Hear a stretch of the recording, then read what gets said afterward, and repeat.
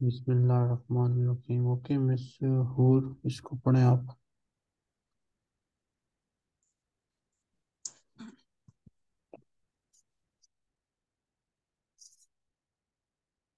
आयशा सदीक। अब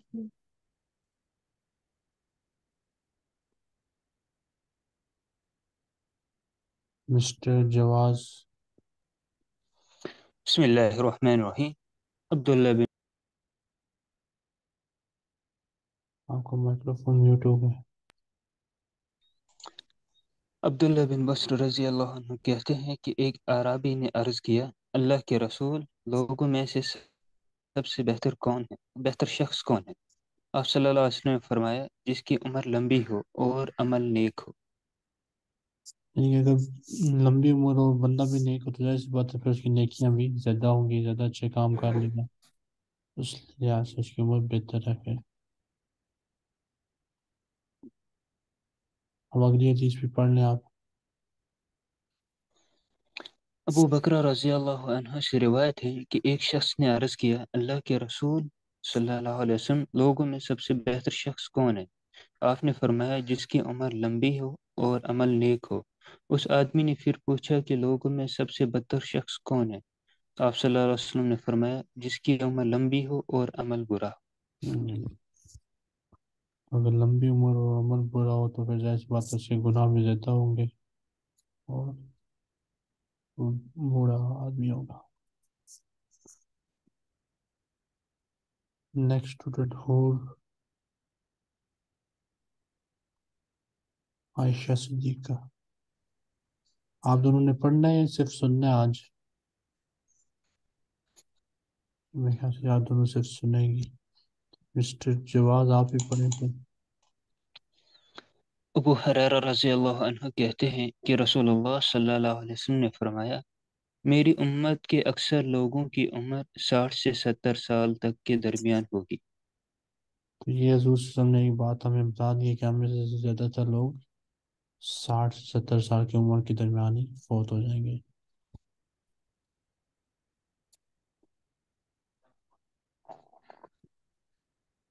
अब ये हदीस पढ़े। अनस बिन मालिक रज़ी अल्लाह कहते हैं कि रसूलुल्लाह सल्लल्लाहु अलैहि वसल्लम ने फरमाया, क़यामत नहीं कायम होगी, यहाँ तक कि ज़माना करीब हो जाएगा। साल एक महीने के बराबर हो जाएगा, जबकि एक महीना एक हफ़्ते के बराबर और एक हफ़्ता एक दिन के बराबर और एक दिन एक सात घड़ी के बराबर हो जाएगा और एक सात घड़ी आग से पैदा होने वाली चिंगारी के बराबर हो जाएगी। इससे अमूमन मुराद ये ली जाती है कि वक्त में बरकत ख़त्म हो जाएगी। जो लोगों का वक्त होगा, उसमें लोगों के पास बरकत नहीं रहेगी अमूमन इससे ये मतलब किया जाता है। ठीक। जी।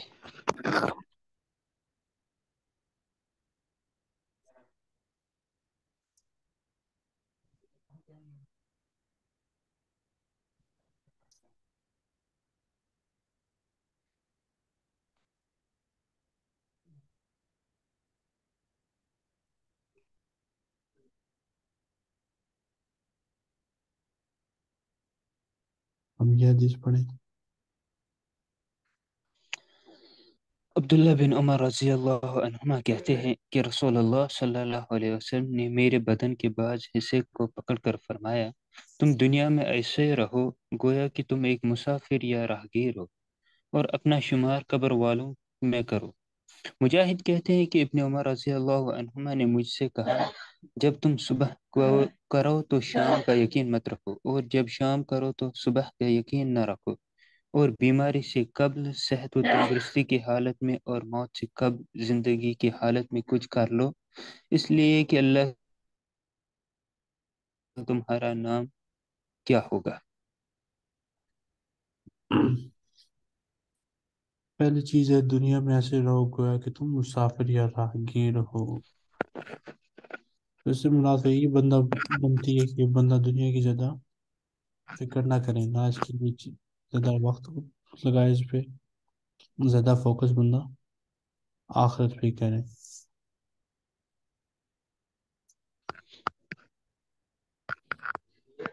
फिर दूसरी चीज़, अपना शुमार कब्र वालों में करो कि अपने आप को बंदा ये कंसिडर करे कि आप है, मैंने भी जल्दी से जल्दी कुछ पता नहीं है ज़िंदगी कब ख़त्म हो जाए तो ज़्यादा उसी में बंदा ध्यान रखे। फिर ये भी चीज़ें हुई हैं कि बंदे को ये नहीं होना चाहिए कि बंदा हमेशा ज़िंदा रहेगा। हर वक्त मौत का ही बंदे को होना चाहिए ख्याल इससे भी मुराद ही बनती है।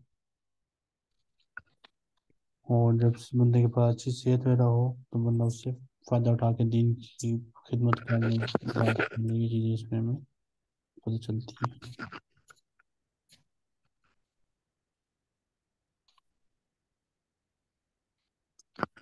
ओके, मिस हो आप पढ़ना चाह रही हैं तो पढ़ लें।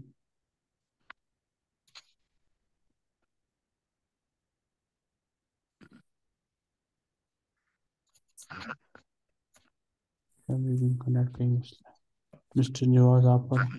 अब्दुल्ला बिन उमर रज़ी अल्लाह कहते हैं कि रसूलुल्लाह सल्लल्लाहु अलैहि वसल्लम ने मेरे बदन के बाज हिस्से को पकड़ कर फरमाया तुम दुनिया में ऐसे रहो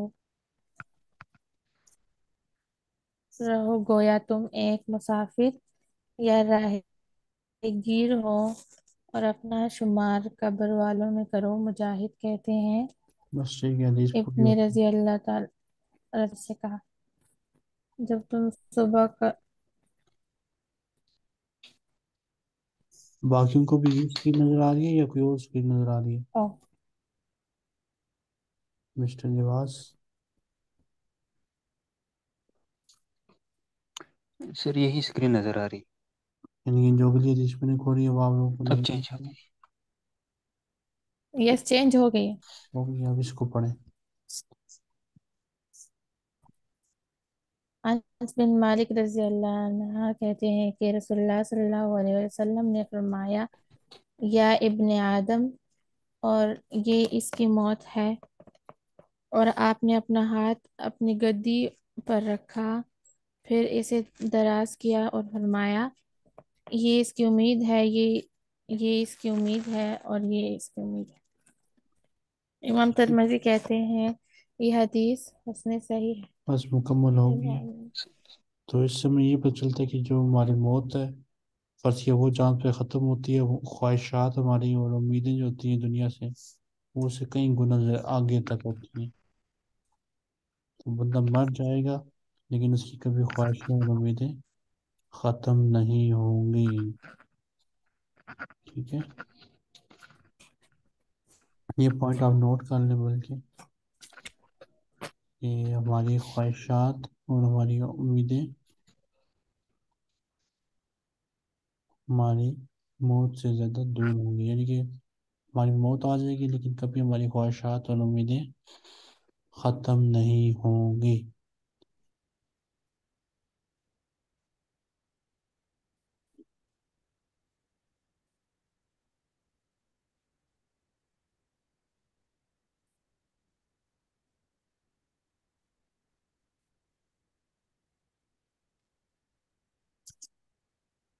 तो ये तीन दफ़ा क्यों लिखा हुआ है? ये ये इसकी उम्मीद है ये इसकी उम्मीद। ये ताकीद के लिए। ताकीद के लिए को तीन हज़ार वसल्लम ने बयान किया। नेक्स्ट मिस्टर जवाज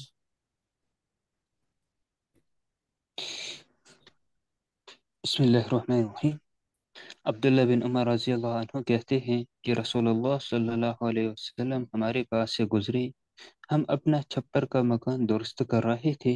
आपने पूछा यह क्या है? हमने अर्ज़ किया कि ये घर बोसीदा हो चुका है। लिहाजा हम इसको ठीक कर रहे हैं। आप सल्लल्लाहु अलैहि वसल्लम ने फरमाया मैं तो मामले को इससे भी कर, मैं तो मामले मौत को इससे भी ज़्यादा करीब देख रहा हूँ। मेन मकसद इसका भी ये कि हमें हर वक्त मौत को याद रखना चाहिए?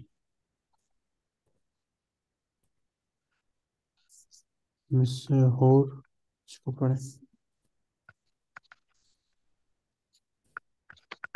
आप बिन अयाज रज़ी अल्लाह तआला कहते हैं कि मैंने रसूलुल्लाह सल्लल्लाहु अलैहि वसल्लम को ये फरमाते हुए सुना, हर उम्मत की आजमाइश किसी न किसी चीज़ में है और मेरी उम्मत की आजमाइश माल में है।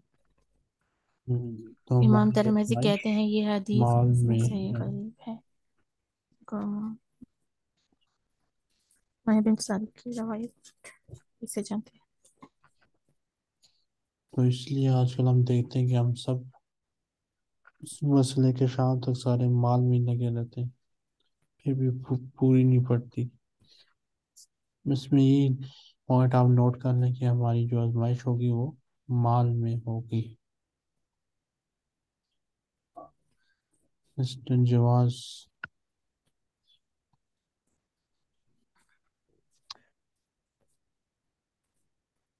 बिस्मिल्लाहिर्रहमानिर्रहीम। अनस बिन मालिक रज़ी अल्लाह कहते हैं कि रसूलुल्लाह सल्लल्लाहु अलैहि वसल्लम ने फरमाया, अगर आदमी के पास सोने की दो वादियाँ हों तो उससे एक तीसरी वादी की ख्वाहिश होगी।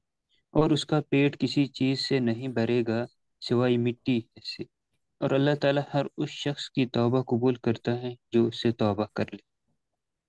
इसमें पहली चीज़ जो हमने सीखी है कि हमारा जो माल की लालच होती है, माल की हवस होती है, वो कभी पूरी नहीं होती। जितना भी माल आएगा, आप ये कहेंगे हमेशा कि थोड़ा सा और हो जाए।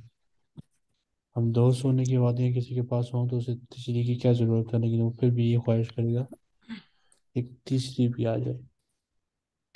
तो पहला पॉइंट ये लिखे हैं कि हमारी माल की हवस कभी भी पूरी नहीं हो सकती।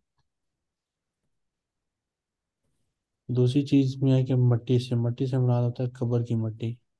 यानी कि जब तक हम कब्र में नहीं जाएँगे, हमारे पेट में कब्र की मट्टी नहीं जाएगी, उस वक्त तक ये हमारी ख्वाहिशात भी पूरी नहीं होंगी। कब्र में एक बार जाएँगे फिर ये ख्वाहिशात, हवस, हमारे जो माल की हवस है ये, वो ख़त्म हो गई। तीसरा पॉइंट जो आप लोगों ने लिखना है यहाँ से, कि हम जो मर्ज़ी गुनाह कर लें, जितना मर्ज़ी है गुनाह कर लें। अगर हम अल्लाह से सच्ची तोबा करेंगे तो अल्लाह उसे कबूल कर लेंगे।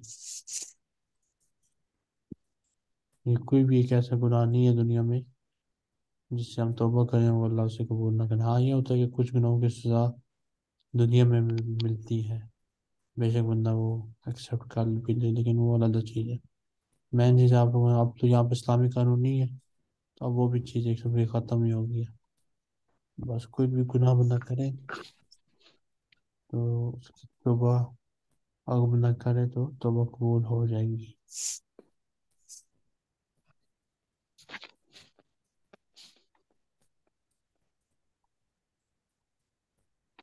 मशहूर इस हदीस को पढ़े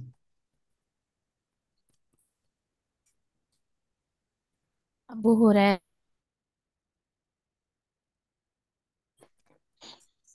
अनहु कहते हैं कि नबी अकरम सल्लल्लाहु अलैहि वसल्लम ने फरमाया दो चीज़ों की मोहब्बत में बूढ़े का दिल जवान रहता है लंबी ज़िंदगी की मोहब्बत दूसरे माल की मोहब्बत। तो जवान आदमी उसका होता है कि हम जवानी में उसका होता है कि ऐसी ज़िंदगी उसकी ज़्यादा देर तक रहे और माल काल किसी को होती है मोहब्बत। तो बूढ़े आदमी में भी और ना तो उससे कब्र का ख्याल चाहिए कि उसकी लाते कब्र में, लेकिन इन दो चीज़ों से कि माल की मोहब्बत और उससे होता है लंबी ज़िंदगी भी मिले।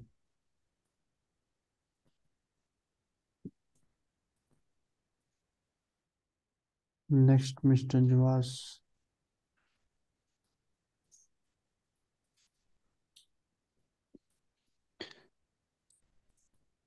बिस्मिल्लाहिर्रहमानिर्रहीम अनस बिन मालिक रज़ी अल्लाह कहते हैं कि रसूल अल्लाह सल्लल्लाहु अलैहि वसल्लम ने फरमाया आदमी बूढ़ा हो जाता है अलबत्ता उसके अंदर दो चीज़ें जवान रहती है एक लंबी ज़िंदगी की ख्वाहिश दूसरे माल की हिर्स ये दो चीज़ें ऐसी हैं जिनकी ख्वाहिशात ख्वाहिश बंदे को कभी ख़त्म नहीं होती। ऐसे ये भी है कि जब बंदा सही हो तो उससे तो ज़ाहिर बात है, ये ख्वाहिश होगी कि जल्द से जल्द अगली ज़िंदगी शुरू हो जाए। क्योंकि दुनिया आजमाइश की जगह बंदा कभी भी फिसल सकता है। जितनी जल्दी से जान छोड़ जाए, इतना ही बेहतर होता है। और दूसरा, माल की हिरस भी बंदे को कभी ख़त्म नहीं होती। यहाँ भी आप लोग ये पॉइंट लिख लें कि दो चीज़ें, लंबी ज़िंदगी की ख्वाहिश और ज़िंदगी की ख्वाहिश और माल की हिरस बुढ़ापे में भी कभी ख़त्म नहीं होती।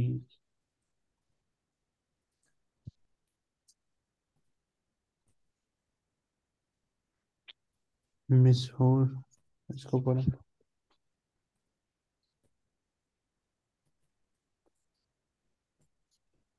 अबू ज़र गफ़ार।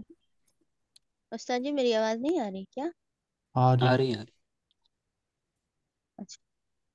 आ, मैं पढ़ लूँ? जी पढ़ें। हाँ।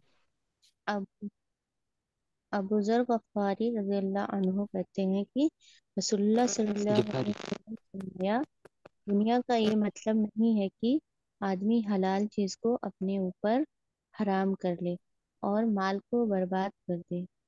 बल्कि उसका मतलब ये है कि जो माल तुम्हारे हाथ में है उस पर तुमको उस माल से ज़्यादा भरोसा ना हो। जो अल्लाह ताला के हाथ में है हाथ में है और तुम्हें मुसीबत के सवाब मुसीबत के सवाब की इस कदर रगबत होगी। जब तुम मुसीबत में गिरफ़्तार हो जाओ तो ख्वाहिश करो कि ये मुसीबत बाकी रहे।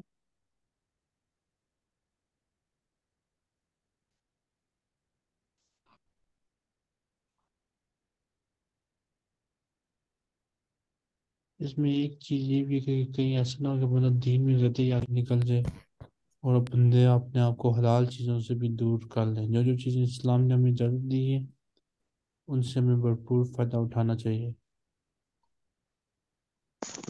और माल ज़ाया भी नहीं करना चाहिए। ये नहीं कि बंदा बिल्कुल ही अब माल उठाना शुरू कर दे। दो तो ये चीज़ें होंगी। और तीसरा यह है कि जब बंदा मुसीबत हो वैसे तो हर किसी को बुरा लगता है, लेकिन साथ ये भी बंदे को होना चाहिए कि इससे हमें अगली ज़िंदगी में फ़ायदा होगा। जो भी मुसीबत आपको पहुँचती है, उसका आपको अगली ज़िंदगी में कुछ ना कुछ फ़ायदा होता है। तो उस वजह से ये बात यहाँ पे लिखी कि बंदे को ख्वाहिश हो कि ये मुसीबत बाकी रहे, यानी कि अगली ज़िंदगी का जो सिस्टम है वो बेहतर हो जाए।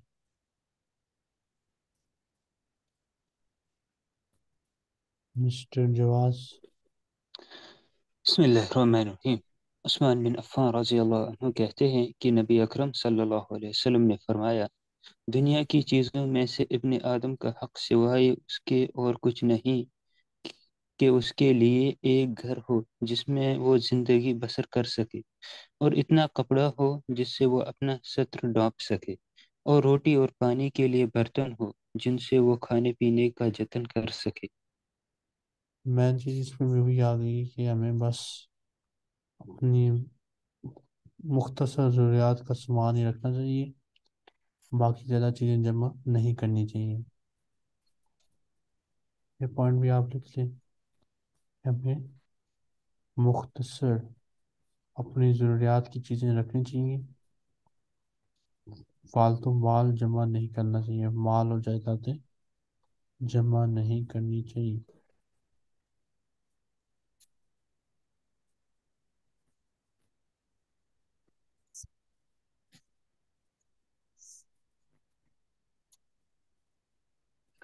नेक्स्ट मिस हो या हदीस पढ़े अब्दुल्ला बिन अब्दुल्ला अब्दुल्ला बिन शखीर रज़ी अल्लाह अन्हा से रवायत है कि वो नबी अकरम सल्लल्लाहु अलैहि वसल्लम की खिदमत में पहुँचे और आप आपकी तलावत कर रहे थे तो आपने फरमाया, इब्ने आदम कहता है कि मेरा माल मेरा माल, हालाँकि तुम्हारा माल सिर्फ़ वो है जो तुमने सदका कर दिया, इसे आगे चला दिया और खाया और इसे ख़त्म कर दिया या पहना और इसे पुराना कर दिया। जो सदका कर दिया वो तो चला गया वाली ज़िंदगी में चला गया, वहाँ पे काम आ जाएगा।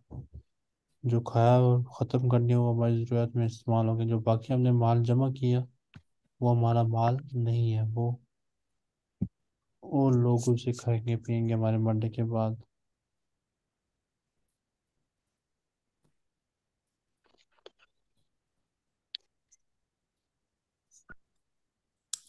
नेक्स्ट टाइम इंशाल्लाह हम यहाँ से शुरू करेंगे किसी का कोई सवाल हो तो पूछ ले।